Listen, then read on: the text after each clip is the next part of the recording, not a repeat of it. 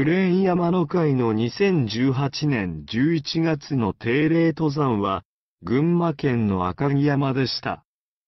赤城山は、群馬県のほぼ中央に位置する山で、春名山、妙義山と並び、上毛三山の一つに数えられ、日本百名山、日本百景の一つにも選ばれています。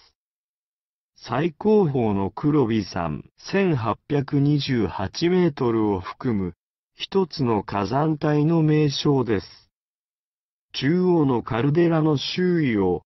1200メートルから1800メートルの峰々が取り囲み、関東平野に大きく裾野を広げ、その山陽は美しいです。クレーン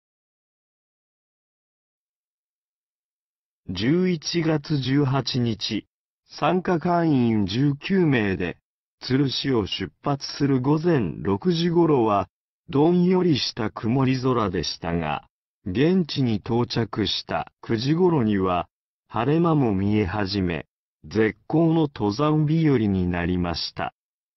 山頂では、群馬の胸郭国貞中寺の赤城の子守歌に習ったのか、一歳3ヶ月の赤ん坊を連れた若い夫婦を見かけました。登山道はよく整備された素晴らしい山でした。下山後は、ふもとの富士見温泉見晴らしの湯に立ち寄り、